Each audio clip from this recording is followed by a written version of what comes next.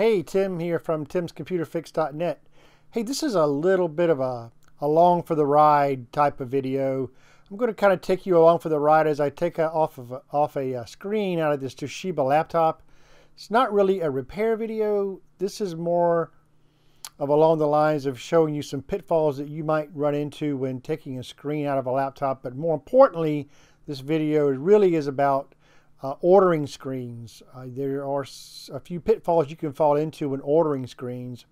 So if you kind of follow along, watch along here, you'll see uh, exactly what I mean. So uh, yeah, enjoy.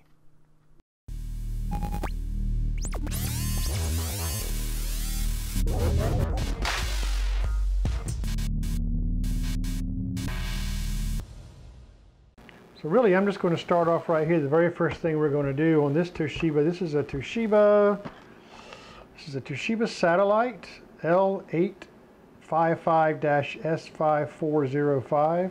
This has a Windows 8 operating system running on it. But we're just going to remove our battery. That's the very first thing we're going to do.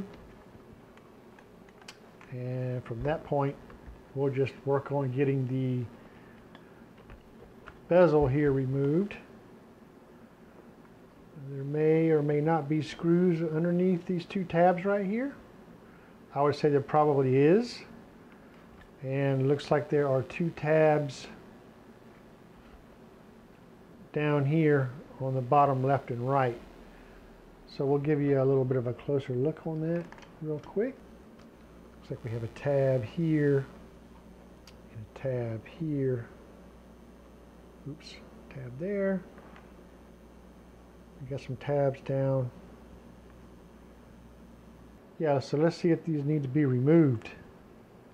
Okay, and one of the ways, you know, if you're really unsure if there are any screws or anything around your bezel corners or whatever, usually that's a dead giveaway, these little tabs.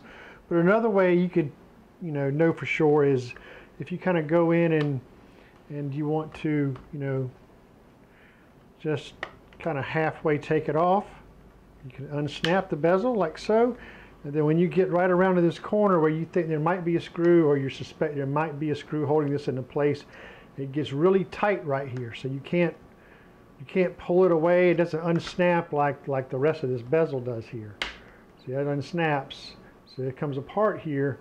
But when you get to this corner, it gets real tight in your fingertips and that'll let you know there's a screw there. So we now know definitely that there are two screws in these two spots areas right here probably so at the bottom too. So we're going to go ahead and remove remove these screws. All right so what we're going to use here to remove these little tabs we're going to use a uh, a bit of a sharp end here. Just as long as we're careful that should be fine walk over here to this end here. And we'll just kind of see if we can just pry up on this tab. Like so. Yep. And off that comes. Alright, and you got to be careful as I did. I just dropped it right here. It kind of rolled down. That's okay. Okay, so we, we got that right here. One tab. Just put these in a little Ziploc bag for safekeeping. It's a cosmetic thing. Alright, so that one's in there. Okay, and then here comes the other one. Get you another closer look here.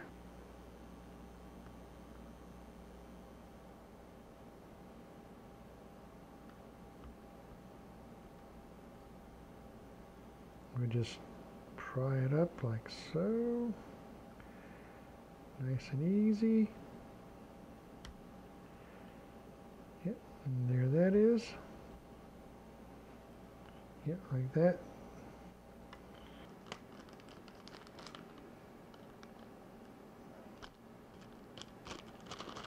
Okay, got two in here now.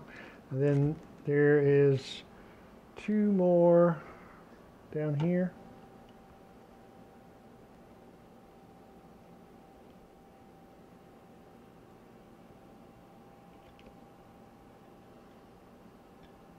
one. Think I've lost where that went. It's tricky. It's working here on this black surface here. There it is. Found it. yep. Probably not the best thing here, working on this black matted surface here. But we'll be okay. I'll work through it. There's another one here.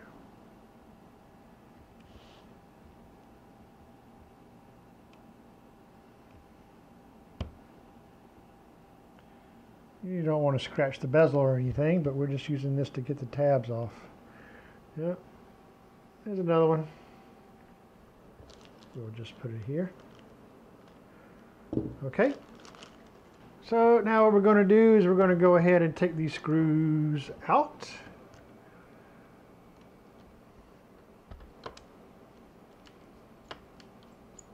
Here's another one.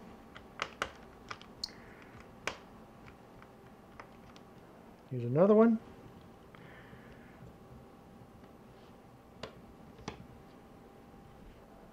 One more. Now the biggest pitfall of, of uh, screen repairs, you know, they're all fairly straightforward for the most part. There are some tricky ones, but there's always a pitfall, and one of them could be, you know, ordering the wrong screen. I'm going to show you here in a minute. So we're going to take show you how we can get around that or be a way that we can assure that we're getting the correct screen. So we unsnap the top here. We're going to unsnap the sides. Taking all four screws out. Snap the sides here, like so. Down here. Turn it around.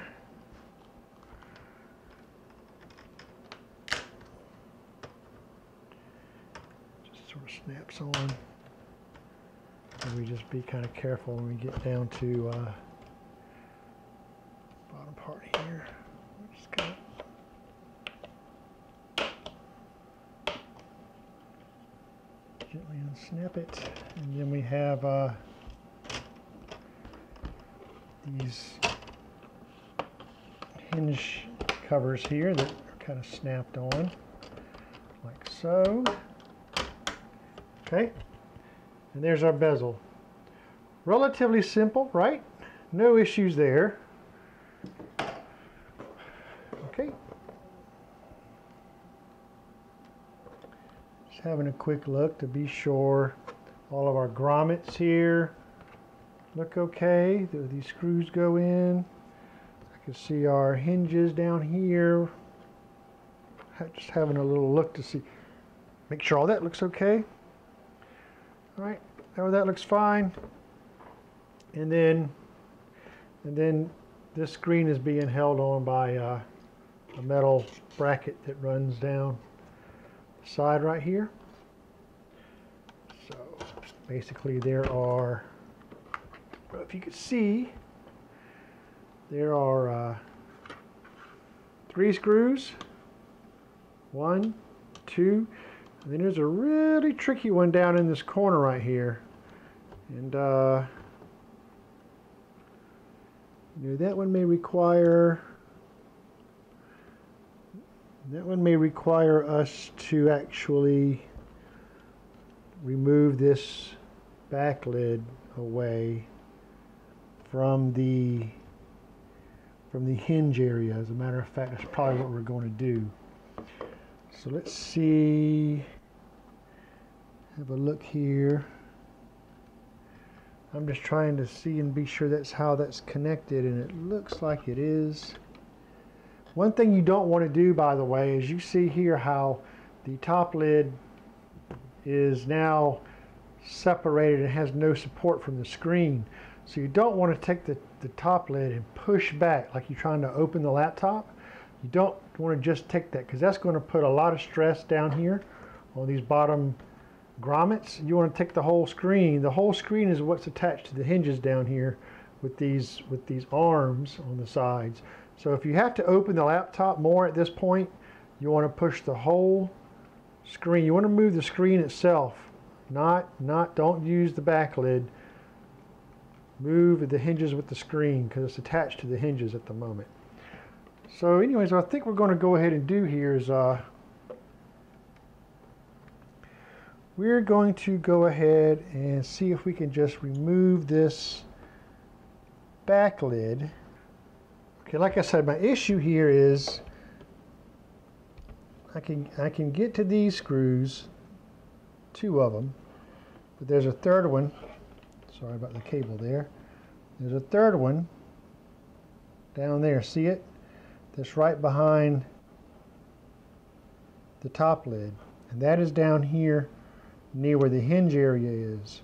So I don't want to put a lot of pressure in separating the top lid because at the moment the only thing holding this top lid on is that one screw. And underneath that screw is a grommet like that.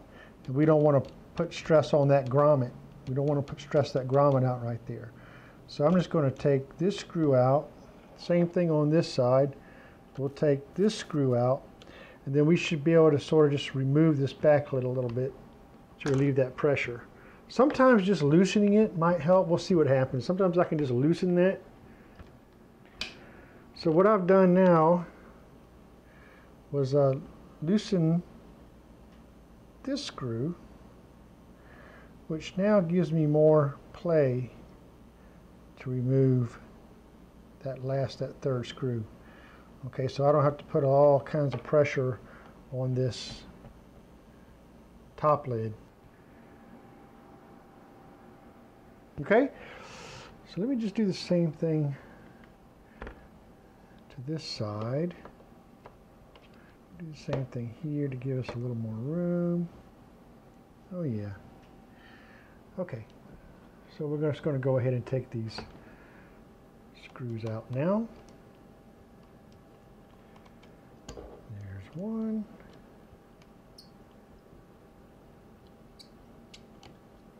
There's two. There's the third one that fell down there. We'll we'll find that a little later. So now you can see I'm loose on that end. We'll just gently pick this up and move it over.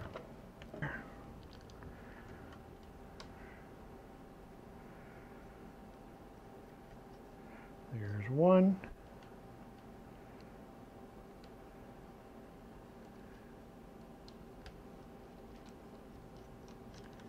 There's two. And here comes the third. Okay. And then now we just basically, knowing that there's ribbon cables attached to the screen, as usual, we'll just gently fold this back. And then that's going to expose our cable to remove the screen pretty standard stuff. But now here's where the part that uh, comes into play. So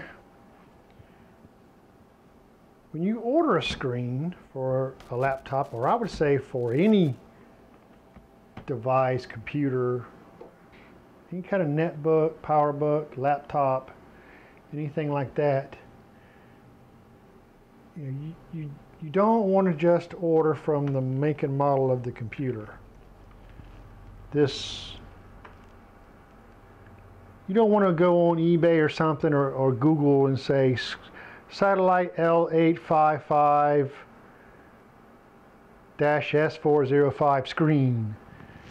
And then and then they'll show you a list of screens and you'll say oh that's it. It must be it since it said since it said that make a model of the computer you always want to contact or look for or even Google contact a vendor or whatever and be sure you read these numbers to them. Be sure that they know these numbers here. The N15, these first numbers, the 1 and the 5 and the 6, is basically says that it's a 15.6. So N 15.6, N 1, 5, 6, that's another way to know exact screen size too is usually after that first letter, there's three numbers, and those three numbers is the screen size. This is a 15.6. N15 B9-L0B, and then this revision number here is really important. Make sure it's a revision C1. And in this case, sometimes they'll ask if the connector is on the top or the bottom. If you're facing the laptop, in this case, it's at the bottom. But we want to be sure we match these up or at least know for a fact that it's compatible with this, not the make and model of the computer. You might get lucky and get the right one off the make and model of the computer and that and that might be the way that you've done it if you're doing, you know, if you're doing screen repairs. But I can promise you this, because this happened to me a lot. You will get bit one day. You will get bit when, when you order the screen off of eBay or off of Google or wherever, and you just punch in the make and model of the computer, and then the screen gets shipped out to you. Sooner or later, and more than likely sooner, you're going to get bit by that. You're going to end up getting a screen that's not compatible, even though it says it's compatible with the model computer. So just a bit of heads up there.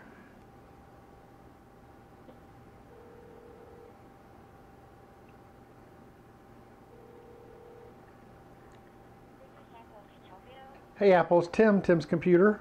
Hi, Tim. Hey, good, how are you? Good, good. Very good. Can I get a price on a screen, please? Yeah, sure. It's a Toshiba Satellite L L855-S405. L eight five five dash S four eight zero five. S405. hmm It's uh, the model of the screen is uh, N as in Nancy, one- 156 Uh-huh. B6 dash L0B re- revision C1.